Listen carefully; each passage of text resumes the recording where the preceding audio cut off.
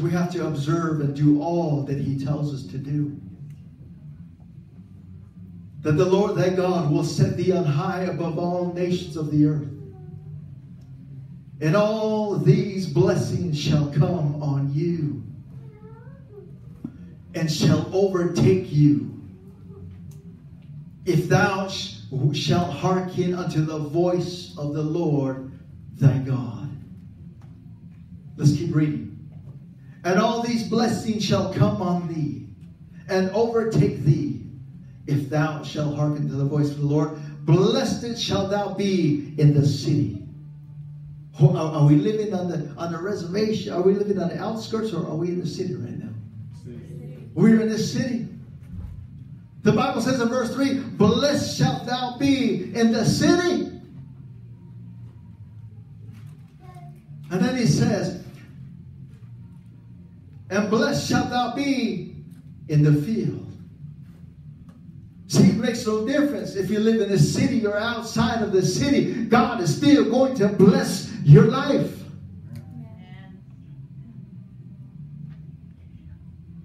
Blessed shall be the fruit of thy body, and the fruit of thy ground, and the fruit of thy cattle, the increase of thy kin and the flocks of thy sheep. For those that have the cattle, you are going to be blessed. God is going to multiply your cattle. Glory to God. Five says, Blessed shall be thy baskets and thy store. Blessed shalt thou be when thou comest in, and blessed shalt thou be when thou goest out. The Lord shall cause thy enemies that rise up against thee to be smitten before thy face. In other words, defeated. The Lord shall cause your enemies to rise, that rise up against you to be defeated before your face. Because you are blessed. You don't need to fight back. You don't need to retaliate. You don't need to pick up that stick and whack that person across the head with it.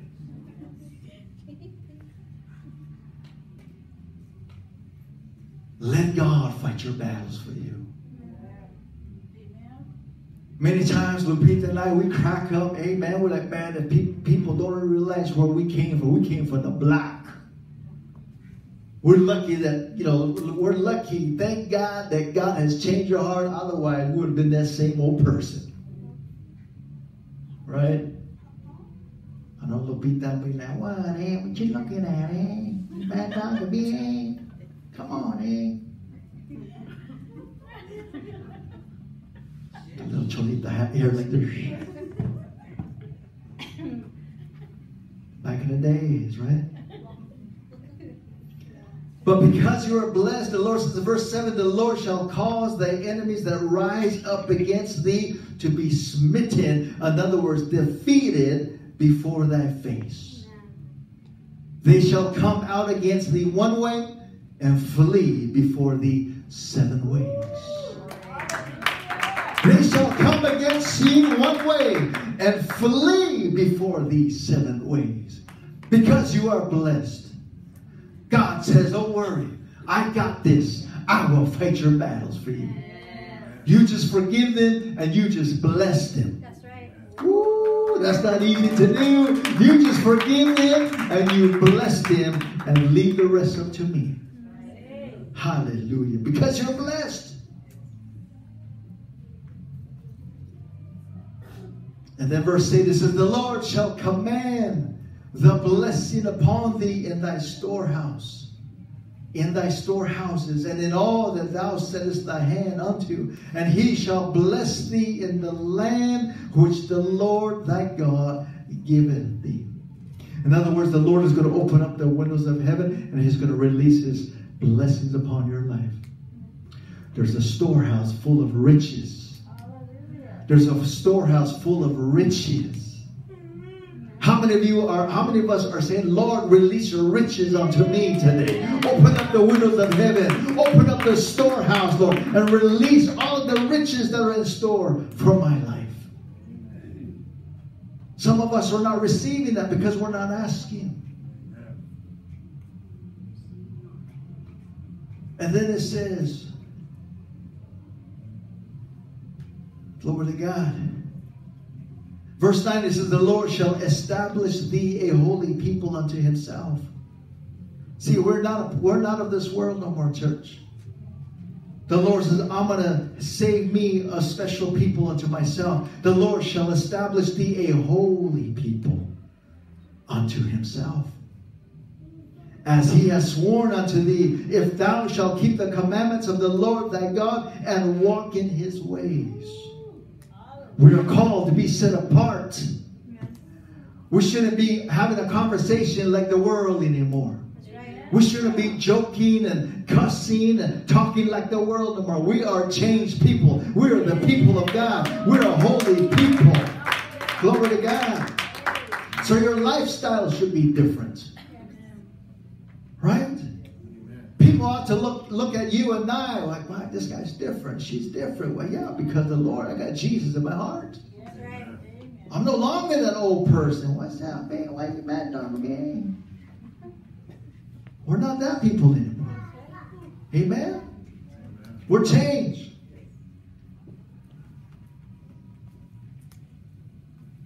Verse 10 it says, "In all and all people of the earth shall what? Shall see that thou art called by the name of the Lord." Are you called by the name of the Lord this morning? Are people watching you? You are called by the name of the Lord this morning. Why is that person different? I like the way that person walks. I like the way that person talks. Man, that person used to be full of anger. Now they have so much love in their heart. That person used to cuss a lot. Now they stop cussing. Now they're all talking about positive. Always, you know, always good conversation. No more violence, but there's peace in that person. And all the people of the earth shall see that thou art called by the name of the Lord, and they shall be afraid of thee. Have you, have you noticed you'll be walking, you'll be shopping at the Gallup Flea Market? You'll be looking around, checking out the jewelries. Or you be working, you be walking around Walmart, and then all of a sudden somebody recognize you, someone that you they used to come and, and come and visit you, and or, or the church, and all of a sudden they see you. The moment they see you, they like, oh, I'm going this way. They're afraid of you. They're afraid of you because you're different. They're afraid of you because they see Jesus in you. They're afraid of you because you're no, no longer that old person. You're a new creation in Christ. You're a new, you're a, a new creation in Christ. Glory to God. You live a life that, that, that pleases the Lord. And maybe their lifestyle has not been completely changed, but they, when they see you, they walk away. They're afraid of you. Just recently, there was a there was two individuals that used to come to the church back at the first church, and I, and I see them at the mall, right? And, and, I, and, and I went straight up to them and I said, hey, how you doing? Long time no see. You know, they looked at me like this. And like, oh. I'm not God. It's okay. It's only me, Marvin. But there are some people, when they see you, they will turn around, they will flee, they will run, they will run on the second aisle. Amen. You're like, huh, where did you go? I thought you saw sister so and so. Now, now they just gone. This is what happens when the blessings of the Lord overshadows you. God has your back. Come on, tell your neighbor, say, God has a God has your back. Amen. He will take care of you. He will bless you wherever you go. In verse 11 it says, And the Lord shall make thee plenteous in goods, in the fruit of the body, and in the fruit of thy cattle, and in the fruit of thy ground, in the land which the Lord sware unto thy fathers to give thee.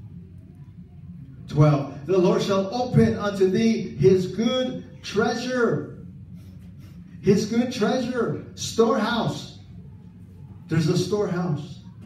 How many want how many of you want the Lord's good treasures in his storehouse? Amen.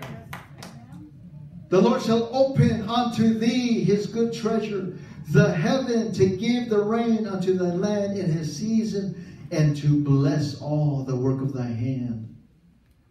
And thou shalt lend unto many nations, and thou shalt not uh, borrow. And the Lord shall make thee the head and not the tail. In other words, you're going to be a leader and not a follower. Amen. All of us here today, the Lord is calling you to be a leader and not a follower. Glory to God.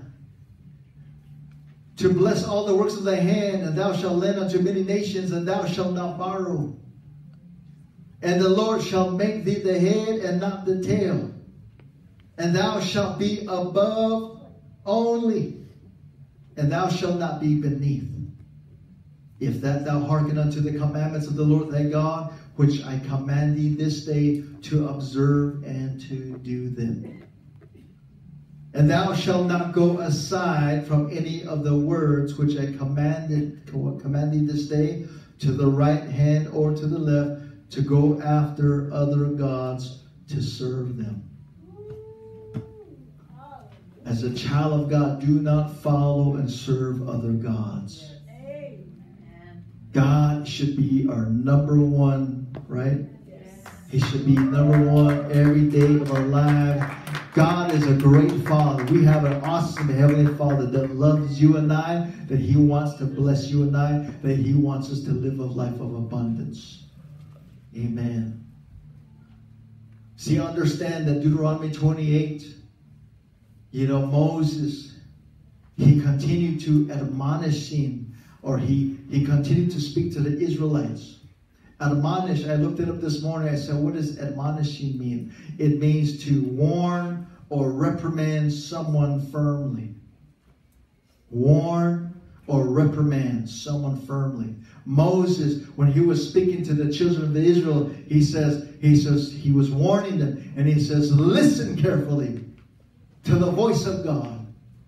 And in doing this, they will be high above all the nations of the earth. How many know the Lord wants us to listen to him? Amen. He's warning us this morning. You and I have a choice. Do you want to live a life of blessing? Or do you want to live a life of curses? Well, what's curses? Curses is everything opposite with what we just read. Amen.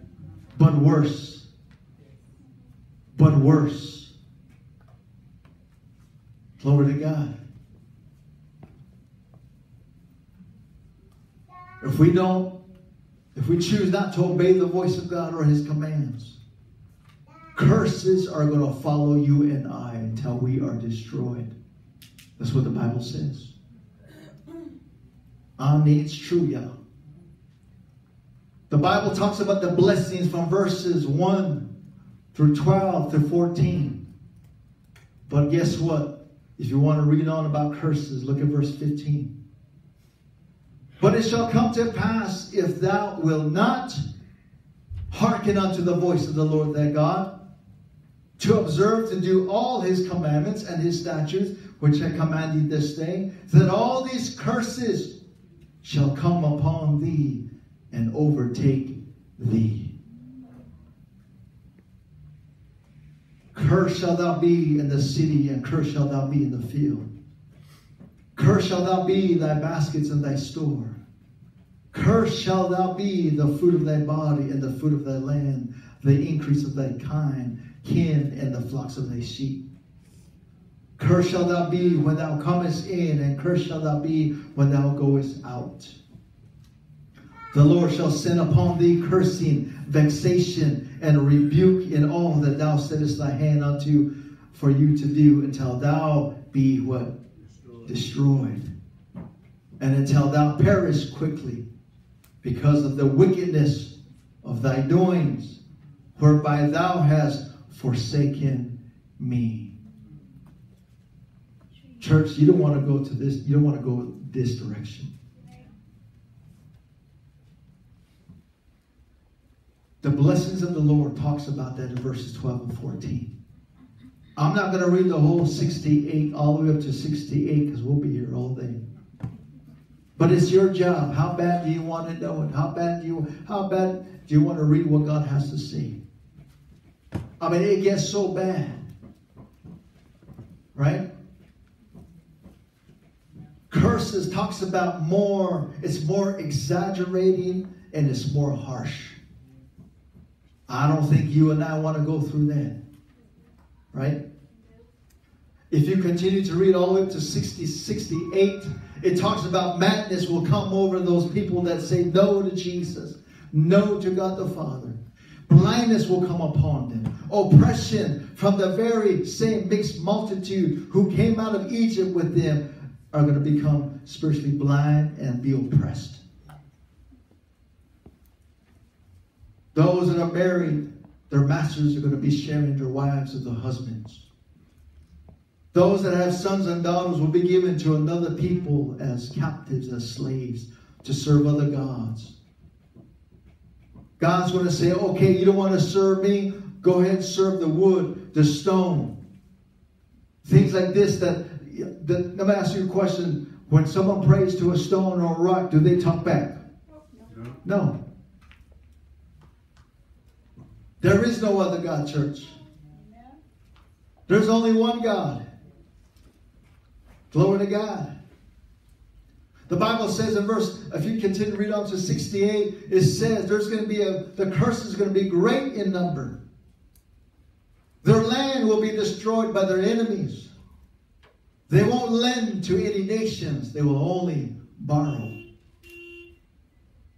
They will have domestic problems. Even the nicest man or the nicest uh, man or woman, they're not going to be nice at all. They're going to be so mean. The Lord says, as far as the curse is coming upon a people, those that say no to me, I will place sickness and disease upon them. And they will scatter from all over the earth by their enemies. There will be no rest. There will be no peace until they're destroyed. The men and women that have that had kids in those days would eat up their own kids. They could care less about their kids. That's how cruel they were. That's how bad the curses came upon the people, those that rejected God the Father. They were put in slave camps. They were in bondage. They were in captivity. No one wanted to buy them as slaves. I mean, I'm glad that we don't have to get to this point, church. All of us have a choice to make. We don't have to go this route. Now, you tell me which side would you rather be on? Would you rather be on a side where, Lord, I will do everything you tell me to do? I will follow you. I will love you. Thou shalt worship the Lord thy God, and him only shalt thou serve. Or if we say, No, Lord, I'm not ready. I want to do my own thing. I still want to go party. I still want to sleep around. I still want to steal. I still want to fight and do all these things. Well, guess what? Curses are going to follow you all the days of your life until you're destroyed. Amen.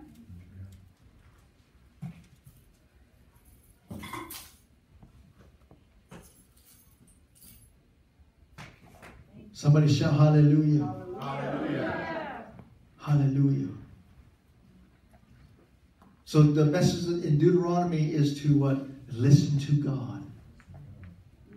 Listen to God. And we have to what? Obey Him. And He says for us to love Him with all of our hearts. That's what the book of Deuteronomy is telling us. It's a message for us to listen to God, to obey Him, and to love Him with all of our heart our soul, and our strength. Can we do that, church? Amen. No, say no, because yes, it's possible.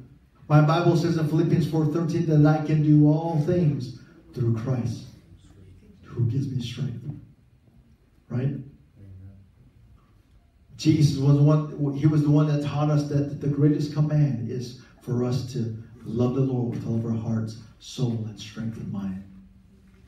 Right? Everywhere we go, we should seek to love God. Everywhere we go, even in our workplace, in our home. Everywhere we go, we ought to seek to love God.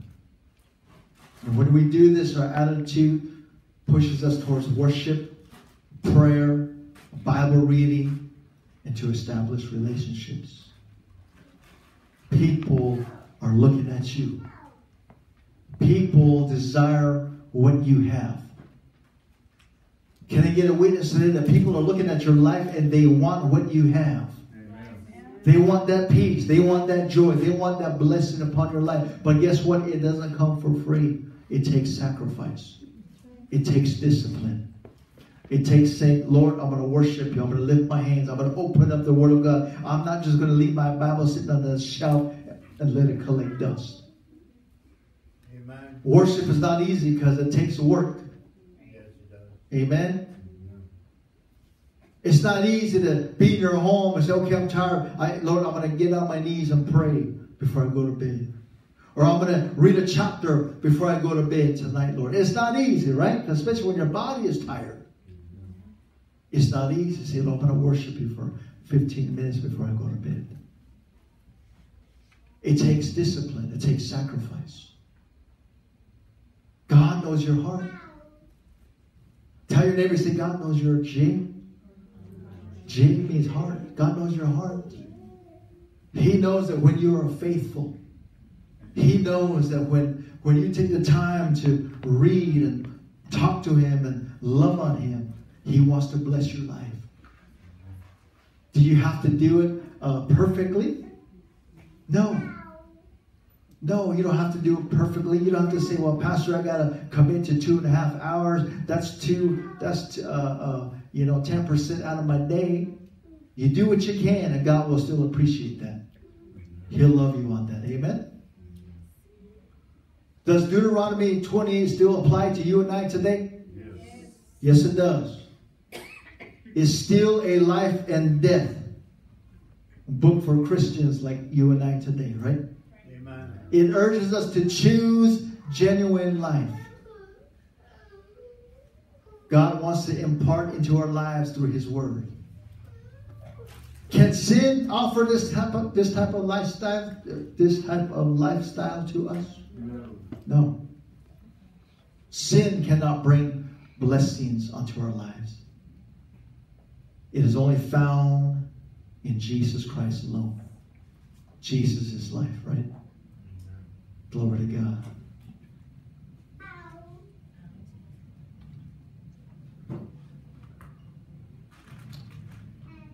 Praise the Lord.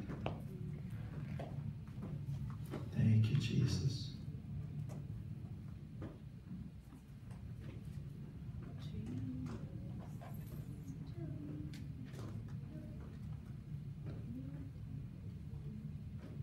I thank the Lord for Deuteronomy that we're able to read the consequences of being disobedient and the blessings of being obedient. I would encourage you, church, to read read this chapter again. Read it in a version where you can understand. You are blessed. We are the seed of Abraham, right? I thank the Lord for my new life. My wife and I, I remember when I was out in the world, we used to live paycheck to paycheck. We had to budget. How many know that if you want nice things, you got to budget? You can't just spend money that you don't have. We had to budget. Sometimes we tell Solomon, Solomon says, I want this, I want that. Well, bills come first. You want a roof over your head, we're going to pay the house bill. You want to get places, we're going to pay the car bill. You want food in the house, then we're gonna we're gonna put money aside for food. So my wife and I we used to live paycheck to paycheck. But ever since the Lord called me to be a pastor, and we started the ministry 11 years ago, 12 years ago. Ever since we've been doing the will, the will of God and just being obedient, hearkening unto his voice, we have seen God's blessing overtake us. Now we're like, you know what? Let's go eat somewhere. Let's go get ourselves a nice ribeye steak. Mm. Let's go shop for somebody. Let's be a blessing to somebody. Praise the Lord. I mean, you know, it's not like I got a million dollars. I claim it though, right? I claim. But my wife and I, we don't have to say how much do we have in our account. Can we afford this or not? Now we are blessed. Now we can, now we don't have to worry about the, the gas prices. How many of you were kind of paranoid when everything went up? The food went up, the gas prices went up, right? Everything went up, right? I got a little worried. I want to be honest, right? I was like, oh no. Prices went up, gases went up. What are we going to do? But then the Lord reminded me as long as you hearken unto my voice, as long as you do what I tell you to do and you obey them, I will bless your life. I will bless your life. I will release the storehouses. I will release the riches upon your life. Wherever you go, whether you're in town or out of town, wherever you go, God says, I will bless your life. The blessings, my blessings, his blessings will overshadow. It will, it will chase you down.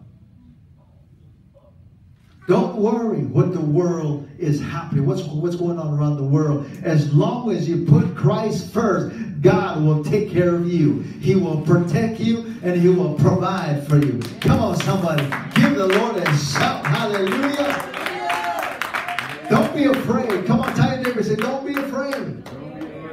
Amen. Just step out by faith. Step out by faith and let's trust God. You know, it, it, it's just the world is getting more crazier and crazier, right? You watch the news, things are just going crazier. Praise the Lord, but don't fear. God is with us.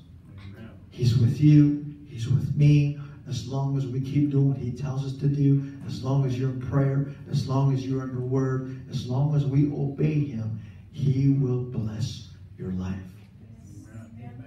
He will bless your life.